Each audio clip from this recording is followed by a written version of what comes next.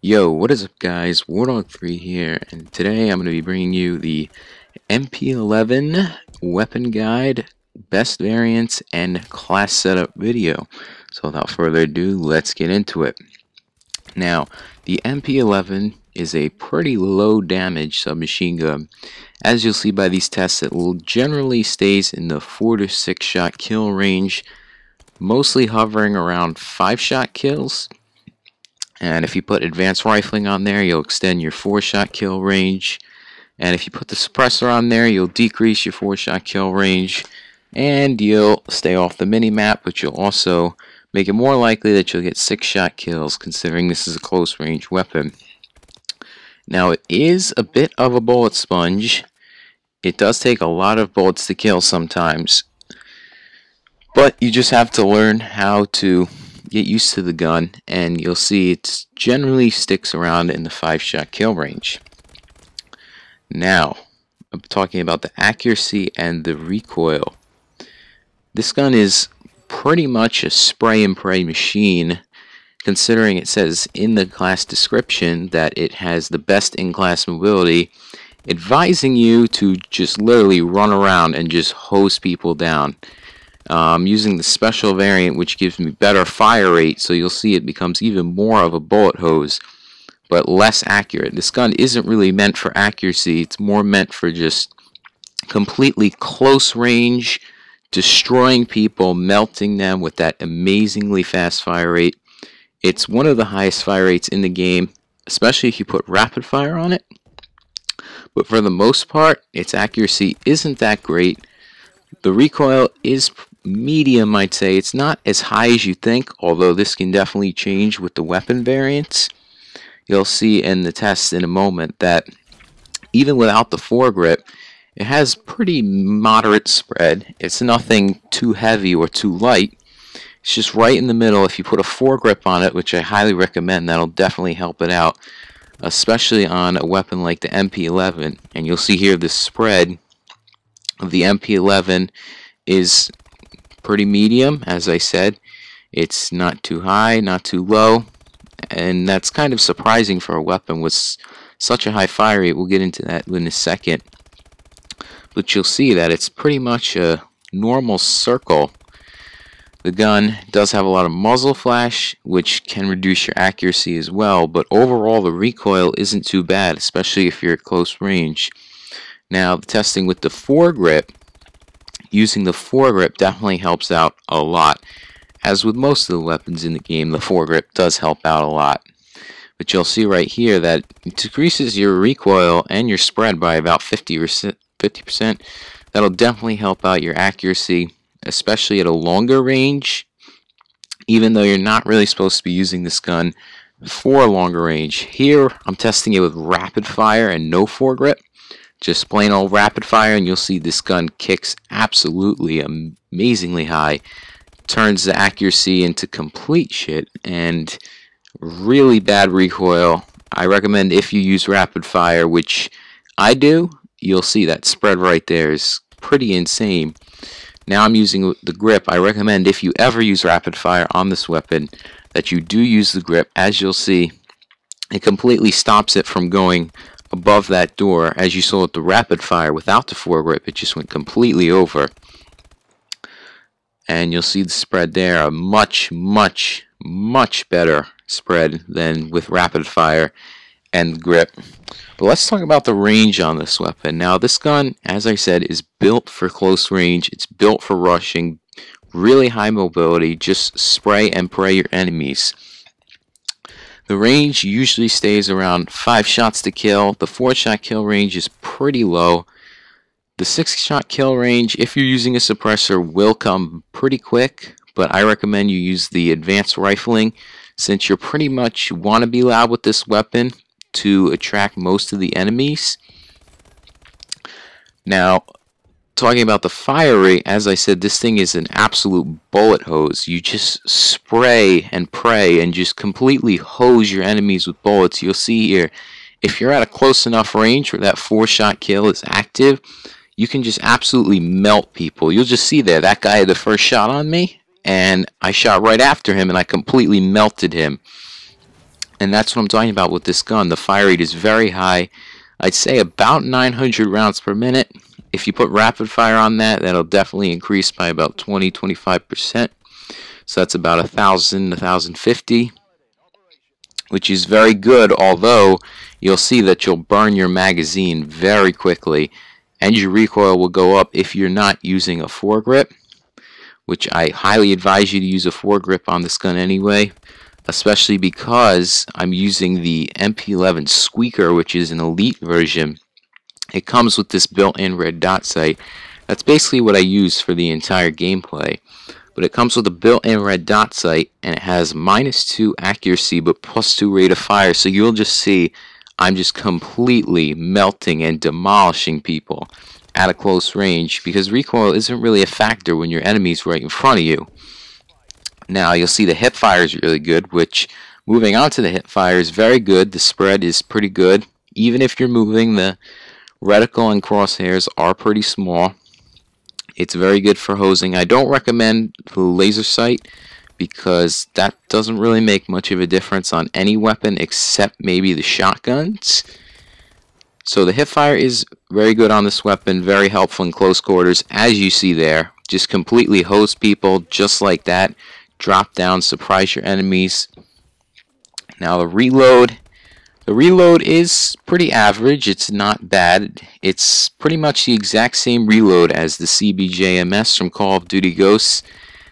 Um, the fast reload, of course, is much quicker, although you'll empty your mag, which you find you'll hit the empty reload with no bullets left much quicker.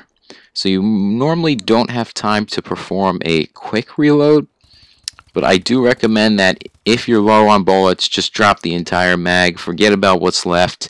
Because this gun, you'll see, it just loses its mag instantly. Next up is the iron sights. The iron sights on this weapon are actually pretty good. Although, aside from the testing, you won't get to see them much because I'm basically using the MP11 squeaker in this entire gameplay which comes with the red dot sight built in automatically. It's a lock, so you can't remove it. And that's what I stick with the entire time because I like to use the elite weapons just because they say elite on it. Yes, I know, it's kind of silly. I do have a, one other variant of the MP11, which is the professional, although I don't use that much as often. We'll talk about variants later. The MP11 Squeaker comes with the built-in red dot sight, as I said, but the iron sights on the weapon are actually pretty good. Very similar to the CBJMS, again from Black Ops 2. Why Black Ops 2? Call of Duty Ghosts. And as well as the reload. Now, the iron sights, you don't really want to use them for long range because this is a close range weapon. But, I mean, you can. I don't recommend using an optic, even though this one comes built in on the squeaker. So use the iron sights. I recommend you do, especially since you should be only using this for close range. So next we'll talk about the run speed. The run speed is 100% as with all SMGs. This one included very quick highest mobility so you should be running spraying and praying just hosing everyone down said that this entire video I mean really that's what you should be doing with this gun you'll see as and we get into the class setup soon, is that I use lightweight and that'll really help with the run speed and you can just rush, rush, rush and continue to hose people down. So here's class setup. I run the Squeaker, which is the elite weapon, foregrip, and advanced rifling. Of course, you're going to have to use perk 3 greed for that. I like to run perk 1 greed with lightweight and low profile. And then I don't run a perk 2, I run perk 3 with toughness and blast suppressor. Pretty much the two crutch perks you need.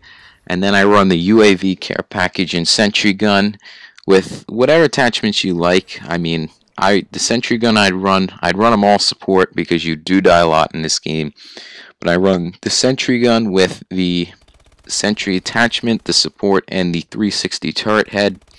Very good combination care package I run with faster pickup, the trap care package and support as well. UAV I run with the special assist score, the support kill streak, and the extra time. But yeah, that's the class setup. As I said, I use lightweight to really ramp up the movement speed so you can really rush with this weapon as it's supposed to be used. Low profile for obvious reasons, even if I don't choose to run a suppressor, because the suppressor really does ruin this gun. Uh, I mean, you can use it if you're at really close range maps, something like I don't know, comeback. Definitely not for a map like Horizon, though. I recommend using advanced rifling instead, because this gun really does need the range on a long range map. But talking about the variants now, the best variants, I'd say, um, the Squeaker isn't exactly the best one. It's it's ideal for close range, but the minus two accuracy really gets you especially at a longer range because it really increases that recoil on top of its plus 2 rate of fire. And that really makes it hard to control recoil at a distance. Although at close range this thing just absolutely demolishes hoses people. You'll see just spray pray with the hip fire. Just absolutely destroys people. The that's probably I'd say the second best even though it's probably not the best for long range, I'd say the best variant of the MP11 by far. As you see, I get that nice double with the hip fire spray. It's exactly what I'm talking about with this Squeaker. The best variant of the MP11, I'd say, is the Goliath, which gives you plus 3 damage and minus 3 mobility, which mobility isn't really a factor at all. It hardly does anything to the weapon, although plus 3 damage is a whole other story. Really, really, it makes it just as good, if not better, than the Squeaker version at a close range because you'll be getting that higher damage, you'll be getting that four shot kill more often combined with that high fire rate. And if you run it with a foregrip and rapid fire, then it just becomes an absolutely great combination. And then if you don't have those two, the professional MP11 Savior, which has minus one accuracy, plus one rate of fire, which is kind of like a mini MP11 Squeaker It's also pretty good, not as hard to get, although it's completely random on the drops you get. It also comes in with a built-in laser sight, which may not help you, but it works. It can be helpful, even if it doesn't make much of a difference. It does not have a built-in optical attachment, but the Goliath doesn't either. The built-in laser sight is handy, as I said, so it's kind of like a mini Squeaker if you don't have it. Uh, those are about the best three weapon variants, I'd say. But yeah, guys, that's the MP11 review in a nutshell. I hope you guys try this weapon out. I have over 300 kills. I'm enjoying it a lot, especially on Kill Confirmed. As you see, I just completely rush and collect the tags. And here's the final um, custom class setup if you guys wanted to take a look at it one more time. I changed things up a bit, a couple things up a bit. The final is right here. Foregrip, advanced rifling. I also have the Savior, as you can see. Lightweight, low profile, toughness, blast suppressor, UAV, care package, and remote turret. Give it a shot, guys. Try it on rushing game modes like Kill Confirmed and Hardpoint. And I hope you guys enjoyed.